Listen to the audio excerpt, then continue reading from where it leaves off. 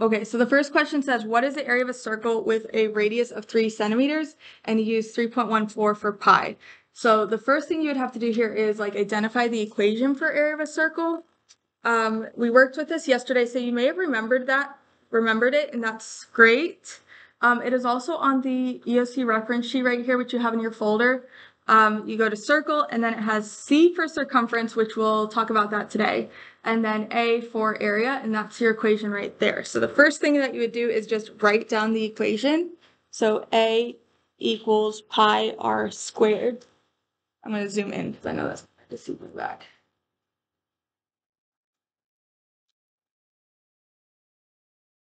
Sorry, it's focusing. Okay.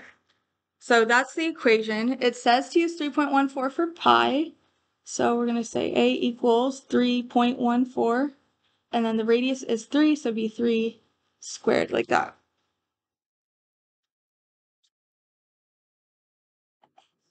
Okay, and then from there you need to follow order of operations. So 3 squared, 3 times 3 would be 9. So I bring that down.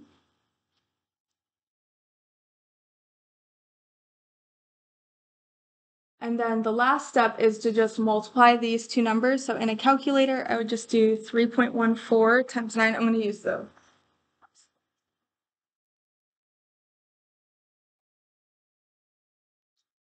That would just be 3.14 times 9, and it comes out to 28.26. So the area of this circle is 28.26. Since its area, it is centimeters squared.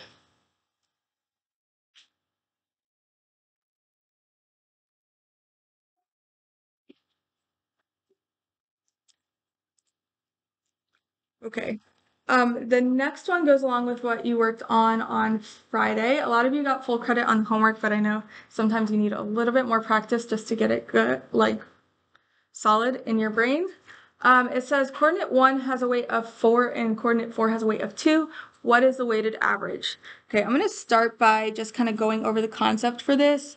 If we have like a number line here, it says coordinate one has a weight of four. So it has like four weights on it. Just visually. Three, four. And then coordinate four has a weight of two. So I'm going to just kind of go along my number line. Coordinate four has a weight of two. So it has like two weights on it. And it wants to know where like the balance point is. So where would you put like the balance point if this was a scale? And to me, it would fall kind of like right here because this is weighted heavier and it would balance probably around two is visually where I could see it. So if you don't remember the equation, you could visually kind of draw it out and come to a really close conclusion. Um, the equation for this looks like this, and it's not on the reference sheet. So coordinate 1 has a weight of 4, so we're going to do 1 times a weight of 4 plus coordinate 4 has a weight of 2, so 4 times 2 weights over the total weights. So there are six weights total.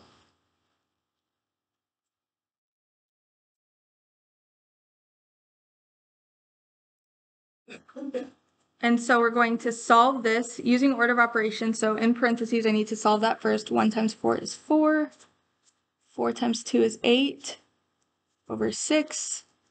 I get 12 over 6, which equals 2. So the weighted average, the balance point is 2, which is exactly where I drew it visually. I said it was going to land about 2. Now, it could have been a decimal or something, so it's important. it is important to solve it out, um, but it just so happens it comes out to a whole number.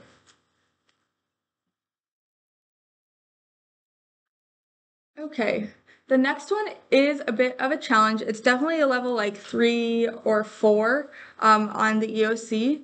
Um, it does come up quite often, so I wanted to introduce it. Um, it says the center of a circle is at 6, 2. A point on the circle is at 10, 6. What is the area of the circle? So it's requiring you to do a couple different skills that we've learned. Um, first one would be graph the points. So I drew a coordinate plane on just my scratch paper. I'm going to graph the center of the circle, which is at 6, 2, 1, 2, 3, 4, 5, 6, 2. That's the center. And a point on the circle is at 10, 6. So I'm going to graph that as well. 3, 4, 5, 6, 7, 8, 9, 10. 1, 2, 3, 4, 5, 6. Okay, so it says this is the center. This is on the outside. So imagine like a circle. Obviously mine's not perfect, but it actually doesn't have to be drawn perfect. Draw the circle, center, and point on the circle. Um, for area of a circle, area equals pi r squared, right? We just went over that. Um, so for the area of a circle, I need the length of the radius. Well, that would be the distance from the center to that outside. So it would be the distance of this between those two points or the length of this line. You could use distance formula if that's more comfortable to you, or you could use Pythagorean theorem to um, find the length of this, this line. So I just sketched out a right triangle. So this is four units, this is four units, and then I'll use Pythagorean theorem to find this hypotenuse here. So Pythagorean theorem would be 4 squared plus 4 squared equals c squared, this being c. 32 equals c squared. Square root of both sides and c equals square root of 32, which is also, using the calculator, 5.66.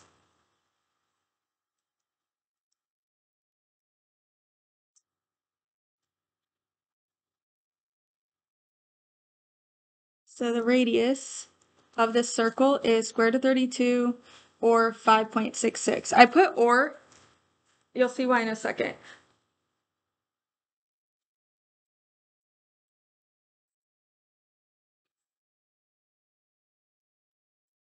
So now that we have our radius, we can plug it into the equation for area.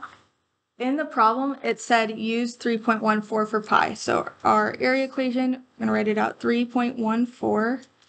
And then the radius, we're actually going to use that square root of 32, and I'll show you why.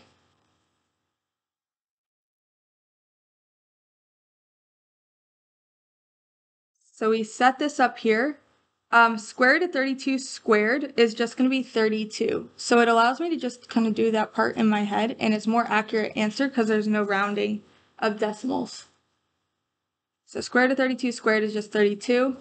And then the last step is to multiply these two numbers, 3.14 times 32. 100.48. 8 units squared. And that's the area of the circle. But like I said, a little bit higher level because you're putting together a lot of skills, but you actually know all the skills um, to do it. Okay, so now we leave this out. I'm going to come around, but as I do that, take out your note packet. We're going to go into the next lesson. Let's see, I'm going to pause this.